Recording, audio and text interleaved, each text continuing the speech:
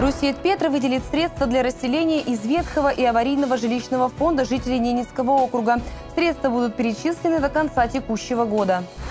В Ненецком округе открывается первое окно МФЦ для бизнеса. В МФЦ поселка Искателей презентовали новое направление в работе многофункционального центра по предоставлению государственных и муниципальных услуг. Здравствуйте, Ань Тарова с главными событиями этого дня. С вами в студии Елена Семеновичева. Руссит Петра выделит средства на расселение аварийного и ветхого жилья в Ненецком округе. Соответствующее дополнительное соглашение к документу о сотрудничестве подписали губернатор округа Игорь Кошин и генеральный директор Руссит Петра Валерий Клинчев. Документ предусматривает софинансирование программы по долевому строительству жилья для переселения граждан из многоквартирных домов, признанных непригодными для проживания или с высоким уровнем износа. Сумма финансирования – 20 миллионов рублей. Средства нефтяная компания перечислит до конца 2016 года. Русет Петра – наш надежный партнер, который активно участвует в жизни округа и деловой, и социальной, отметил Игорь Кошин. За 8 лет работы на территории округа компания стала не только площадкой производственного технологического сотрудничества России и Вьетнама, но и основой межнационального общения во всех сферах. Участие в социально-экономическом развитии Ненецкого округа Русет Петра осуществляет на основании соглашения о сотрудничестве, заключенного с окружной администрацией в 2009 году. За прошедшую неделю в казну Ненецкого округа поступило 23 миллиона рублей. Расходы превысили доходы и составили 109 миллионов. Об этом на еженедельной планерке доложила руководитель Департамента финансов и экономики Татьяна Лагвиненко. Наибольшую часть расходов составили субсидии бюджетным организациям. Учреждениям образования, культуры и спорта перечислено 42,5 миллиона, здравоохранение и социальной защиты – 46 миллионов. Из них на социальные выплаты было направлено 35 миллионов 800 тысяч рублей. Кроме того, на прошедшей неделе округ погасил 500 миллионов казначейского кредита и на сегодня государственный долг составляет 4 миллиарда 100 миллионов рублей. Также Татьяна Лагвиненко напомнила о работе по поддержке предпринимателей в виде микрофинансирования финансирования и гарантирования. И благодаря этим мерам соцподдержки наблюдается стабильный прирост субъектов малого среднего предпринимательства. А, мы а, перекрыли тот, э, то закрытие и снятие с учета юрлиц, которое произведено налоговой инспекцией а, для, по, по юрлицам, которые длительное время не вели работу и не представляли налоговую отчетность. Главный финансист напомнила, на этой неделе бизнес-инкубатор начал прием заявок от будущих арендаторов. Представителей малого и среднего предпринимательства приглашают к участию в конкурсе льготной аренды офисных помещений. Основные критерии отбора – это то, что предприниматель должен быть зарегистрирован на территории нашего округа и осуществлять деятельность не более трех лет. А, также не допускаются к участию в конкурсе предприниматели, которые осуществляют производство либо торговлю подакцизными товарами э, в сфере игорного бизнеса, то есть те, э, в общем-то, условия и ограничения, которые определены федеральным законом о развитии малого и среднего предпринимательства. Кто будет принимать решения? Кто будет рассматривать? Решения будут приниматься коллегиально. Для этого создана специальная комиссия, куда входят представители Департамента финансов и экономики, представители бизнес-сообществ а, и непосредственно предприниматели с большим опытом работы. Социальная значимость и актуальность проекта для округа, конкурентное преимущество и финансовое обеспечение проекта станет большим плюсом для предпринимателя на этапе отбора. Напомню, прием заявок начался 28 ноября в Центре развития бизнеса по улице Ненецкая, дом 3. Здесь же вы сможете получить ответы на все интересующие вопросы. Заявки на конкурс принимаются до 12 декабря. Более 50 услуг для бизнеса в одном месте. Многофункциональный центр в поселке Искатели открыл окно, где предпринимателям округа будут предоставлять государственные и муниципальные услуги. По идее разработчиков, новый формат обслуживания позволит бизнесменам экономить самый дорогой для них ресурс – время. У нас существует отдельно, видите, да, картинка, где указаны услуги для бизнеса. Нажимаем услуги для бизнеса и выбираю необходимые мне ведомства, где необходимые услуги. Вот услуги предоставляю управление федеральной налоговой угу. Нажимаю, получаю талон и иду непосредственно в первое окно, меня переводит электронная очередь и иду за получением данной услуги. Руководитель филиала многофункционального центра в поселке Искателей с удовольствием рассказывает о новинке. «Бизнес-окно» – это новый формат предоставления государственных и муниципальных услуг. Специально для предпринимателей округа выделено отдельное окошко, где можно получить полный спектр услуг – от регистрации в качестве индивидуального предпринимателя до выдачи разрешений на установку рекламных баннеров. Была озвучена проблема в том, что на начальной стадии э, у человека возникает проблема в регистрации э, значит, в качестве индивидуального предпринимателя. На сегодняшний день наши, наши специалисты, которые будут работать в данном окне, э, будут конкретно производить консультацию по каким образом и какие документы необходимо предоставить для регистрации юридического лица или зарегистрироваться в качестве индивидуального предпринимателя. На сегодняшний день у нас налажена прямая связь с налоговой, то есть э, имеются контактные данные специалистов, которые будут нам помогать в этом. Помогать бизнесменам оперативно решить вопросы будет специально обученный сотрудник. Он может проконсультировать посетителя по 53 услугам – федеральным, региональным и муниципальным. По словам Виктора Хабарова, бизнес-окно может существенно упростить процедуру получения необходимых документов. Предприниматель, который строит первый в регионе сельскохозяйственный рынок, прошел не одну инстанцию, прежде чем забить первую сваю. Да, действительно, это отнимает уйму времени. По крайней мере, одно окно позволит э, решить эти вопросы буквально за короткий период э, со многими организациями. Я думаю, тем более, что руководитель заверил, что практически во всех ключевых организациях у них есть прямые контакты э, с руководителями. Так что я думаю, что для предпринимателей данная услуга будет очень востребована. По данным многофункционального центра, количество предпринимателей среди посетителей МФЦ небольшое – около 15%. Чаще всего они обращаются в центр по вопросам регистрации недвижимости по направлению деятельности Росреестра. Мы сейчас проанализируем деятельность а, нашего окна в течение какого-то определенного времени. И если будет необходимость, потребность, мы действительно поймем, что это очень важно, хотя мы сейчас понимаем, что это важно, мы откроем а, окно, и э, я считаю, в городском офисе, э, ну, как-то будем расширяться. В планах учреждения расширить перечень услуг, добавить в список услуги финансово-кредитных и страховых компаний, а также некоммерческих организаций. Валентина Чибичек, Вадим Стасюк, телеканал «Север». Проект закона о бюджете территориального фонда обязательного медицинского страхования на 2017 год и на плановый период 2018 и 2019 годов рассмотрели на заседании Комитета собрания депутатов. На сегодняшний день в системе ОМС работает 12 медицинских организаций и одна страховая медицинская компания. Прогнозируемый общий объем доходов на 2017 год составит 1 миллиард 469 миллионов рублей, которые поступят за счет четырех источников.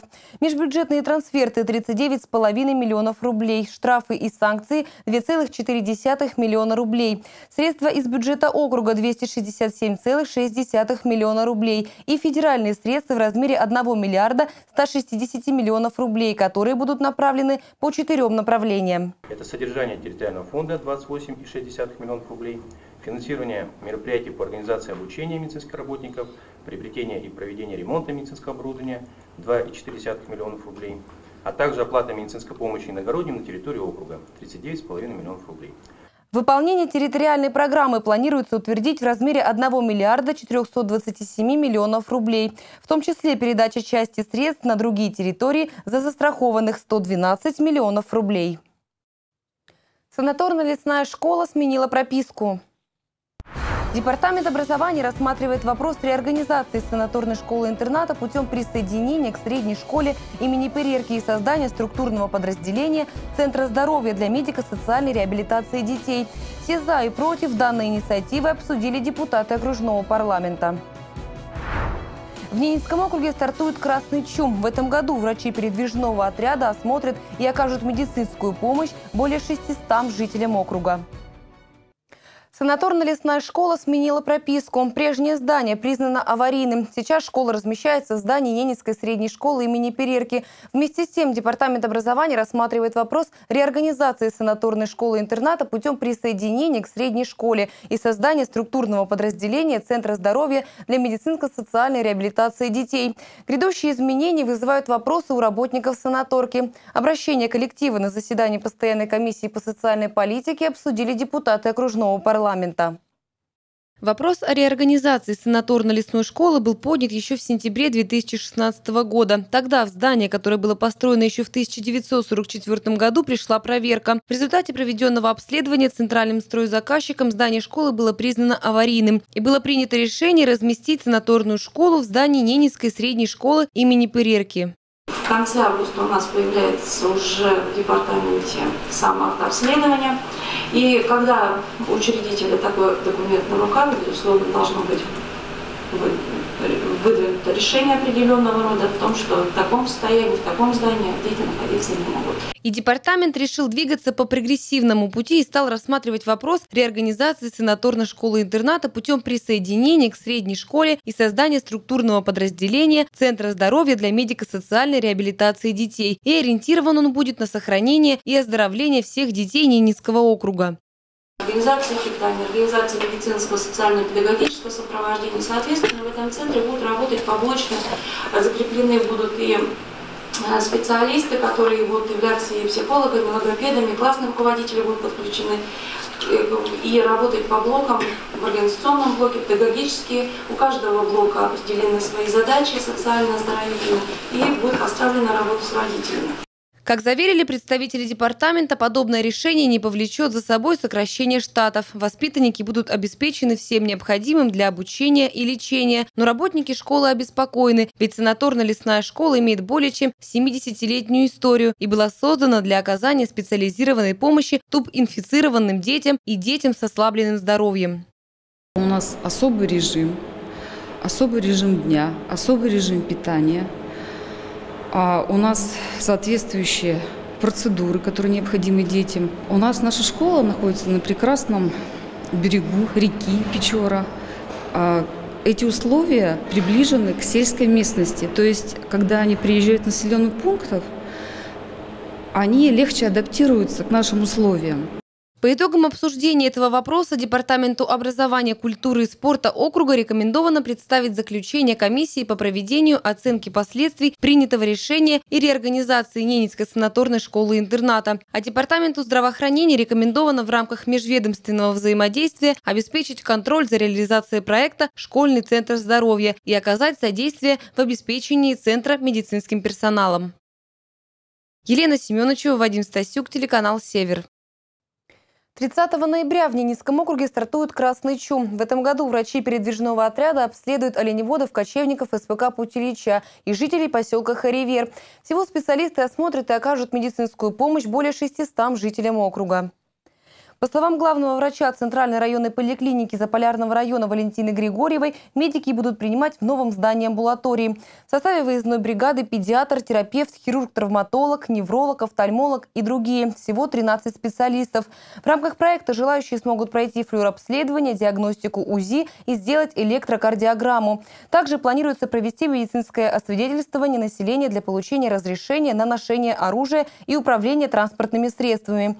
Оленеводам выдадут аптеки аптечки для оказания первой медицинской помощи. «Красный чум» – ежегодный совместный проект компании «Лукойл Коми» и «Тоталь. Разведка. Разработка. Россия», администрации округа и Центральной поликлиники Заполярного района. Компании недропользователей выделили 2,5 миллиона рублей на оплату работы бригады врачей, приобретение аптечек и медикаментов. В бюджете округа предусмотрели более 1,6 миллиона рублей на финансирование транспортных расходов по перевозке медотряда и доставке оборудования. В прошлом году врачи «Красного красного чума обследовали коренных жителей поселка Индиго и Выучейский Тиманского сельсовета. Всего медпомощь получили 472 человека, из них 140 – дети. Жители микрорайона Старый аэропорт в скором времени смогут решить свои проблемы, связанные с общественным транспортом. Администрация Наринмара предложила изменить движение городских автобусов, один из которых будет заезжать в новый микрорайон. Еще два маршрута предлагается объединить в один. Для чего нужны эти нововведения, расскажет Ирина Нежалова. С появлением новых автомобильных дорог в районе старого аэропорта возникла необходимость изменения маршрута курсирующего автобуса номер 6. Он был введен более двух лет назад по просьбам местных жителей. Если раньше автобус проезжал по улице Авиаторов через площадь имени Ленина, то с 15 ноября его маршрут проходит через улицу Швецова и улицу Пионерская, что оказалось крайне неудобным для большинства жителей нового микрорайона. Вот в утренние часы и после обеда где-то вот бывает, что выезжаем мы в 13.35, вот там бывает еще народ, это на вторую смену в школу едут дети. А так в основном все, больше никого не бывает. Ну, первые два рейса, пару рейсов, много. А потом их нет. Ну, в основном на площади выходили все раньше. А сейчас выходят у третьей школы уже целью охвата новых микрорайонов и для удобства жителей администрация Наринмара планирует изменить маршруты движения городских автобусов номер 2, 4 и 4А. Новая дорога вдоль центральных очистных сооружений, которая откроется в ближайшие дни, позволит сделать маршруты кольцевыми. Таким образом, двойка у нас будет ездить э, по следующему маршруту. Выходить э, из морского порта, там, где конечная остановка, э, далее по новой дороге, сразу уезжать в Кармановку, возвращаться по Ленина, по Пионерского, через новый микрорайон, э, по улице Авиаторов приезжать э, на площадь Ленина и далее по Первомайской возвращаться на конечную остановку. Еще одно предложение администрации города – совместить маршруты номер 4 и 4А. Таким образом, из аэропорта автобус будет следовать до Кармановки, затем по новой дороге доезжать до улицы Ваучейского, минуя морской порт, далее по Ваучейского и через площадь следовать снова в аэропорт. Это будет круговой маршрут. Таким образом, и в Кармановке, и на остановке улицы Ваучейского горожане смогут сесть на четверку каждые 20 минут. Какие мы видим плюсы здесь? Э, ну, во-первых, я уже сказала, да, из нового микрорайона мы сможем добраться до Кармановки на шестерке, либо в центр города на двойке. Э, далее, по короткому маршруту мы сможем из э, центра города добраться до Кармановки на двойке, либо из Кармановки до центра города на четверке. Устраивает ли движение городских автобусов самих горожан, а также их отношение к предлагаемым изменениям, мы узнали непосредственно у тех, кто пользуется услугами общественного транспорта. Если человек едет с этого с аэропорта, и ему надо на обед домой, так здесь пересаживаться, у него как-то нет смысла никакого. То есть вы, вы считаете, что будет не очень удобно? Не очень удобно для тех людей, кто там работает. Хотелось бы, чтобы 411 почаще ходил. Очень редкие рейсы, особенно утром и по выходным. Много людей на работу едет в это время, а рейс вот идет без 28. Следующий через час только. И многим людям, скажем, к 9 часам на работу добираться крайне неудобно. Там вряд ли будет хорошее. Может, если будет привыкнут люди, если долго будет все это. Высказать свои «за» и «против» может каждый житель Наринмара. Предложения горожан принимаются на электронную почту Наринмарского АТП atp1 собака администрацию города эконом собака adm или по телефону 4 23 19. Ирина Нежалова, Вадим Стасюк, Антон Водряков, Владислав Носкин, телеканал «Север». Себя показать и на других посмотреть. В Нарьинмаре пройдет юбилейная ярмарка, где встретятся активисты и руководители детских и молодежных общественных объединений Ненецкого округа. Активисты и руководители детских и молодежных общественных объединений Ненецкого округа встретятся на одной площадке во Дворце культуры «Арктика». 3 декабря там пройдет юбилейная ярмарка. В этом году юбилейную ярмарку приурочили к году кино в России и назвали ее «15 мгновений зимы». В принципе, как и всегда, это презентация объединений различной направленности а, за счет творческих а, выступлений, либо же за счет представления себя посредством стенда. А, можно будет в прямом общении пообщаться с руководителями, с лидерами, с активистами, узнать, чем занимается то или иное объединение. Может быть, кто-то для себя найдет что-то по интересам и присоединиться к тому или иному направлению. А также в этот день у нас будет э, проведена акция. Этот 3 э, декабря это Международный день инвалида, и в рамках ярмарки у нас будет реализована акция, приуроченная как раз-таки к этому дню. Всего на ярмарку заявилось 40 детских и молодежных объединений. Кроме творческих выступлений, а также работы площадок с презентациями и мастер-классами, традиционно на ярмарке пройдет награждение активных жителей округа благодарственными письмами губернатора НАУ и окружного собрания депутатов, которые внесли значительный вклад в реализацию государственной молодежной политики, а также чествование победителей Всероссийского конкурса «Семья года-2016».